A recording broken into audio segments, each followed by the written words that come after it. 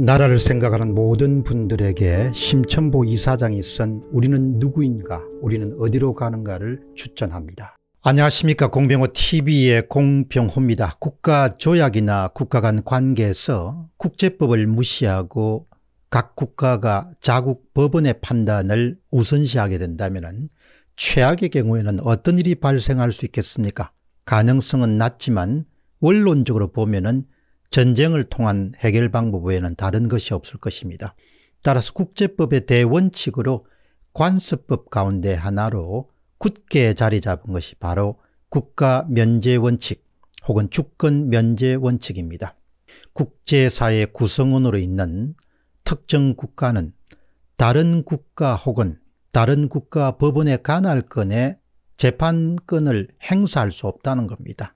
항상 자국 법원의 판결보다도 국가 조약이라든지 이런 부분이 우선시된다. 이런 부분을 이야기합니다. 아마도 가장 중요한 판례는 제2차 세계대전 당시에 나치 정부가 이탈리아 내생했던 강제 노역에 대해서 강제 노역의 대상인들이 독일 정부를 상대로 해서 소송을 진행한 바가 있습니다. 이 건에 대해서 2012년 국제사법재판소 ICJ는 아주 대표적인 그런 판결을 내립니다. 독일 정부의 주권적 행위는 이탈리아 법원의 판결의 대상이 될 수 없다. 이른바 국가 면제 원칙, 주권 면제 원칙을 한 번 더 공고하게 확인한 그런 판례입니다. 이 같은 맥락에서 1998년도 한국의 대법원에서도 판례가 나오게 됩니다. 한 국가의 공권력 행사 등 주권적 행위에 대해서는 국가 면제 원칙을 적용해야 된다. 이것이 국제사회에서 통용되는 아주 중요한 그런 관습법의 하나로 오랫동안 지켜져 왔습니다.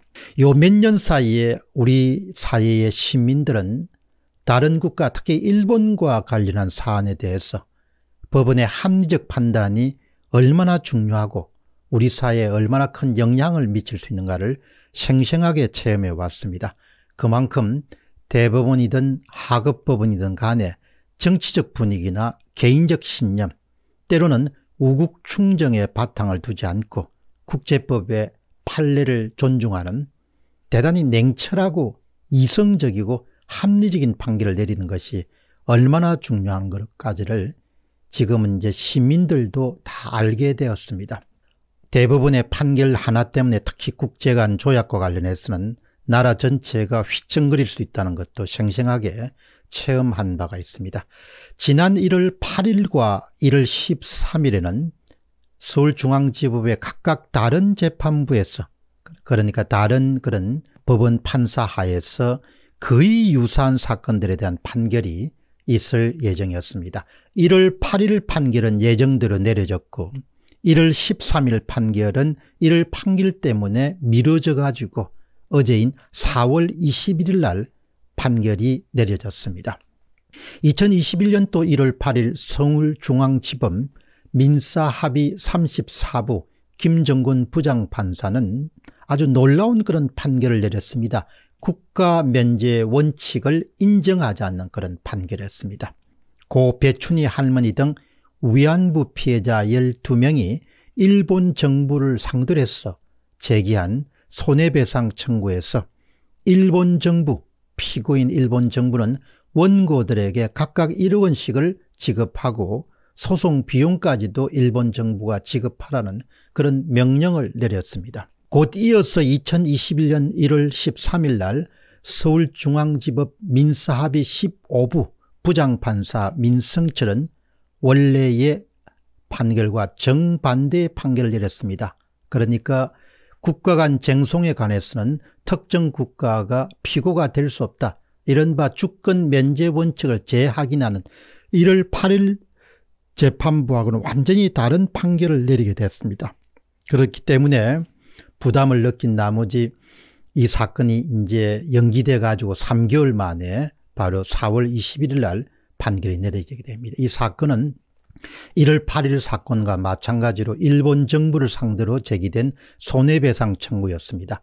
고 곽예남 할머니, 이용수 할머니 등 20명이 제기한 일본 정부에 대한 손해배상 청구했습니다. 이 손해배상 청구에 대해서 부장판사 민성철은 이미 국제간섭법으로 확립된 국가 면제원칙에 따라서 일본 정부를 상대로 한국 사법부가 재판할 수 없다. 소각하 결정을 내리게 됩니다.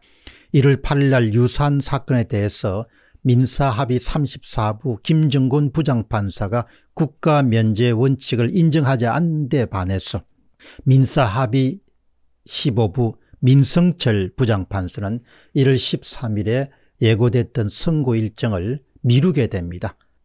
서울중앙지법의 거의 유사 사건에 대해서 며칠 상관을 두고 완전히 다른 판결이 나올 수 없었기 때문입니다.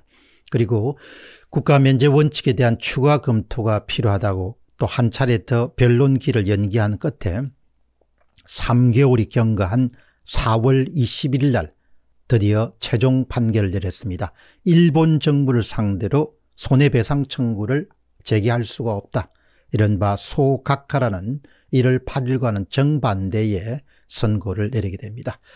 여러분들도 잘 알다시피 한일 간의 외교 관계를 극도로 경색시킨 그런 출발점은 2018년 10월 대법원이 일본 강제징용 피해자들이 일본 기업 신일본 제철 미쓰비시를 상대로 제기한 손해배상 청구 소송을 받아들였기 때문입니다. 이후 일관되게 김명수 대법원 체제 하에서는 피고 그러니까 일본 정부의 책임을 묻는 쪽으로 판결이 계속되어 왔습니다. 이런 점에서 보면 4월 21일 날 민사합의 15부 서울중앙지법의 민성철 부장판사의 판결은 이 같은 이례적이고 아주 국제법 질서에 역행하는 그런 판결의 흐름을 완전히 뒤바꾼 아주 바람직하고 이성적이고 합리적이고 법리적인 그런 판결이다. 우리가 이렇게 해석할 수 있습니다. 현직에 있는 한 부장 판사는 이번 4월 21일 판결에 대해서 이렇게 평가합니다. 그동안 내수용 판결을 해왔던 김명수 사법부가 이제서야 제 길로 들어선 것을 뜻합니다. 법원 판결에서 내수용 판결이 있고 외수용 판결이 있겠습니까?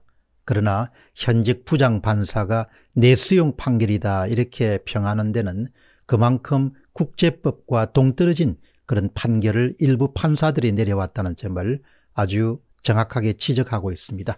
이렇게 올바른 결정을 사법부가 진작 내렸더라면 한일 간의 극한 갈등을 피할 수 있었을 것이다 이렇게 봅니다.